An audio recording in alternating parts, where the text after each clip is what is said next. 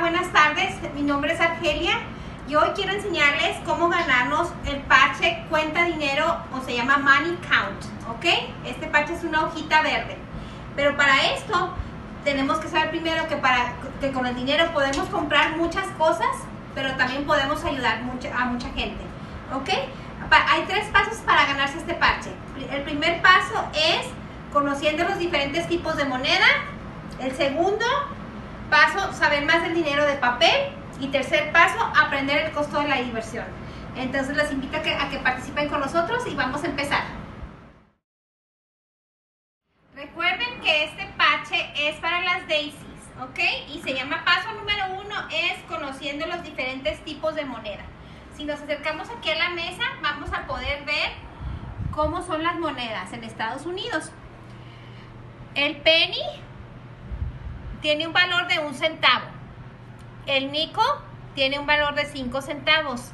El dime tiene un valor de 10 centavos. Y la quarter tiene un valor de 25 centavos. Y ahora para ganarnos este parche, quiero que pongas un montoncito en una jarra o donde quieras monedas de diferentes. Y vamos a sacar una moneda y quiero que me digas, yo aquí saqué un penny. Quiero que me digas si es una moneda grande o pequeña. Es una, moneda pequeña, ¿verdad? ¿Y qué color es? Es color cobre. Entonces, esto es lo que se diferencia de un penny de otras monedas, que es una moneda pequeña y es de color cobre. Ahora, si yo saco esta moneda de mi jarra, viene siendo el nico, que son 5 centavos. El Nico es color plateado y tiene una, una medida más o menos regular, ¿verdad? Entonces, este es un Nico. La otra moneda que podría yo sacar de mi jarra sería un dime. Esta moneda es una moneda más pequeña que el penny, pero es de color plata, ¿sí? Plateado. Moneda chica plateada es un dime. Y al final tenemos un, una quarter. La quarter es la más grande de todas y tiene un valor de 25 centavos y también es de color plateado. Aquí la diferencia de estas cuatro monedas es que el penny es el único que es de color cobre. ¿Sí? Ahora lo que quiero que hagas es, para ganar tu, tu parche, quiero que llenes un zapato de monedas. Lo vas a llenar ahorita estamos en cuarentena y no podemos salir por lo del COVID-19, quiero que entre tu familia y tú, más o menos, piensen cuánto dinero tengo en este zapato. Para que vean más o menos cuánto dinero es lo que ustedes pueden juntar. Cuando ya hecho esto, quiero que, que digan en voz alta qué es lo que piensen que más o menos cuesta este zapato. ¿Ok? Entonces, eso es para el paso número uno. Y entonces aquí terminamos el paso número uno. Y ahora vamos a hacer el paso número dos. Recuerden que este es para agarrar la hojita que se llama Money Count. Y en este paso número dos vamos a aprender a saber más del dinero de papel.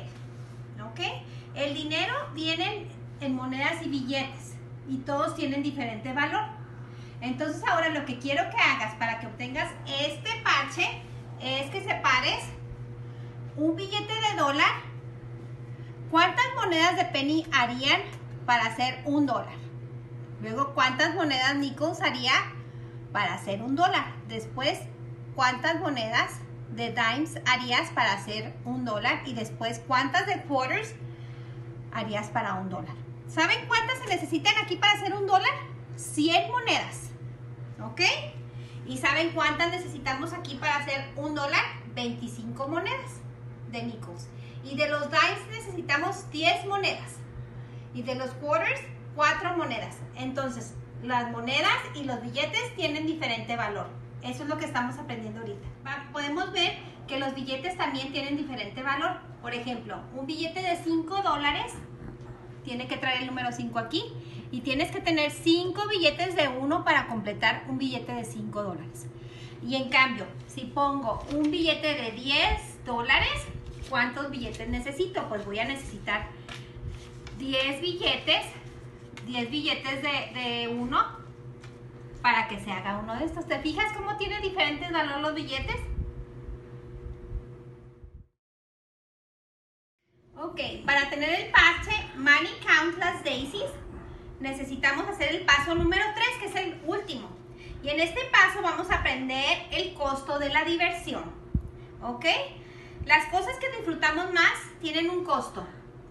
Y todo ese costo tiene, tiene que salir de algún lado. Entonces tenemos que practicar primero a planear algo que hacer. Por ejemplo, si yo quiero ir a la feria, voy a gastar 3 dólares en cada juego y me quiero subir a 3. Van a ser 9 dólares. ¿Ok? Pero voy a, querer también un funnel cake de la feria. Un funnel cake me va a salir más o menos en 5 dólares. Y también voy a querer una limonada. La limonada en 7 dólares. En ese mi presupuesto serían de 21 dólares. Entonces con tus papás hay que aprender para que ellos nos digan cómo podemos ganar esos 21 dólares o cómo podemos ahorrar esos 21 dólares que tanto tenemos que hacer para ganar. En cambio, si yo quiero ir al cine, en el cine voy a comprar unas palomitas, aquí están las palomitas, en 7 dólares. Y luego voy a comprar mi ticket de 7 dólares también y voy a comprar también una soda en 6 dólares. Aquí me da un total de 20 dólares. Tengo que preguntarle a mi papá o a mi mamá qué tengo que hacer para tener esos 20 dólares. Se tiene que trabajar mucho, se tiene que trabajar poco. ¿Cuándo podemos ir a hacer más o menos un calendario de aquí hasta cuándo podríamos juntar ese dinero? ¿Ok? Lo mismo para ir al boliche, para mm, este, ir al mall, para todo hay que tener un presupuesto de qué es lo que tenemos que hacer. Entonces, esto es el paso número 3. Y por último, recuerden que el dinero no nada más es para comprar cosas, también es para ayudar a la demás gente. En este caso, con 5 dólares, yo puedo comprar papel, puedo comprar aceite, arroz, frijoles, dos sopitas y un jabón. Esto cuesta 5 dólares y esto yo lo voy a hacer, lo voy a poner para donarlo a alguien que necesite. No nada más es para diversión, también es para ayudar, ¿sí se fijan? Y entonces también recuerden que podemos hacer cosas que no cuesten dinero, cuesten dinero, como por ejemplo ir al parque, como por ejemplo ir a caminar, ir a escalar montañas, ir a la librería y sacar unos libros, una película. Eh, ¿Qué más? Puedes hacer muchas cosas también que son gratis. Pero lo más importante es de que pienses y que uses tu imaginación para saber qué es lo que puedes hacer tú para aprender más sobre el dinero. Gracias.